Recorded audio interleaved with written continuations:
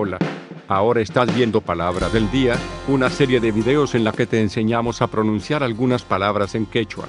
Así que nuestra palabra del día por hoy es Seik'uy. Seik'uy. Seik'uy.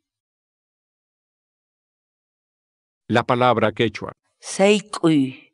En español significa cansarse, fatigarse. Por ejemplo, Suyaspa niña.